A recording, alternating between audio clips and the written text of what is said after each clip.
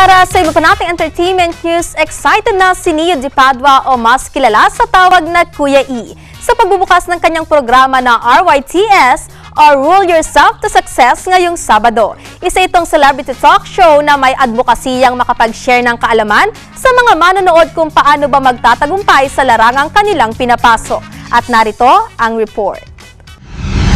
Excited na si Neo Di Padua o mas kilala sa tawag na Kuya E sa kauna-unahang episode ng RYTS or Will Yourself to Success na mapapanood tuwing Sabado sa Net25 mula sa isang simpleng pangarap noon na di niya akalaing matutupad at sa pamamagitan anya nito ay makakatulong siya sa maraming mga Pilipino. Uh, simpleng buhay lang meron si Kuya E before and then uh, we keep on doing good things siguro and then uh, ang dami nating ginagawang uh, iba't ibang subok para maging matagumpay ka pero ang dami ring ups and downs sa buhay. Kaya nagkaroon kami ng inspiration na gawin itong programang RYTS. So all throughout the years, we experience a lot. So this time, we want to inspire people naman. Tell something about this RYTS.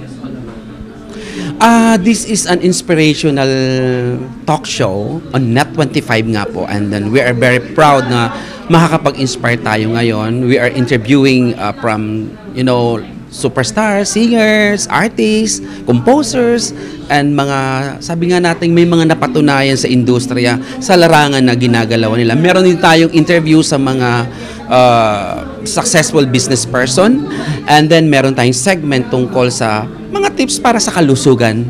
Ayan, and of course, yung mga pagtulong ni Kuya E, meron tayong mga ilang ipapakita dyan. Ang RYTS ay isang celebrity talk show na may advokasiyang makapag-share ng kaalaman sa mga manonood kung paano ba magtagumpay sa larangang kanilang pinapasok.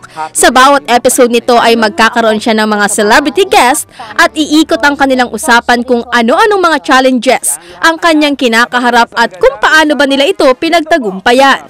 Sa ginanap na press con para sa naturang programa ay personal na nagpaabot ng pasasalamat si Kuya E sa tuloy-tuloy na pagsuporta sa kanya ng mga press people sa entertainment industry. Nagpapasalamat din si Kuya E sa Eagle Broadcasting Corporation dahil sa pagtitiwala sa kanya.